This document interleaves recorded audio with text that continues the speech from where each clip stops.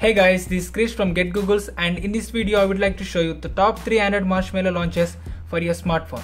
So yeah, let's get started.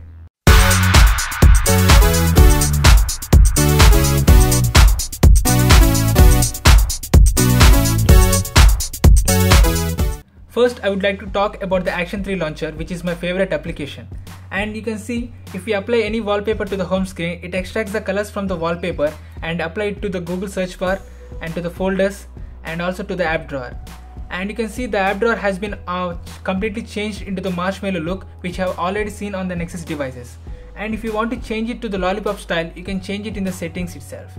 And coming to the home screen, we have folders and this one we call it as quick drawer when we when we tap on the menu you can access all your app- apps directly on the home screen itself and you can also use it by swiping to right and if you want you can also change it to any application that you like and if you want to open the folders you can swipe vertically upwards and you can access to your folders and if you want to change the default application here open the folder and change the icon the app which, which you want to use it place the app into the first place and you can access directly to that app.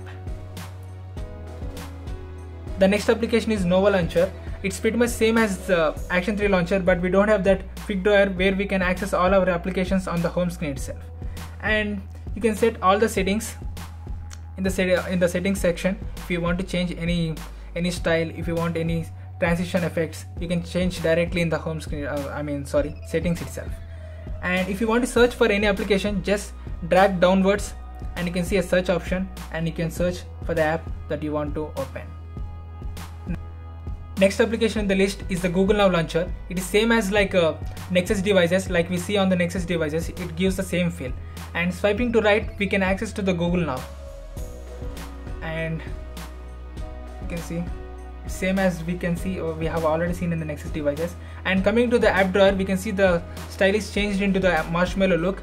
And here on the top it gives us the mostly used applications. And if you want to search for any applications you can tap uh, tap on the search bar and you can search for the applications that you want to use. And so yeah that's pretty much it. So guys this was my quick review about the top 3 launchers for your smartphone. If you like my videos please like and subscribe and also share with your friends. And if you want any tutorials from my side please comment them in the below section. I would like to work on them.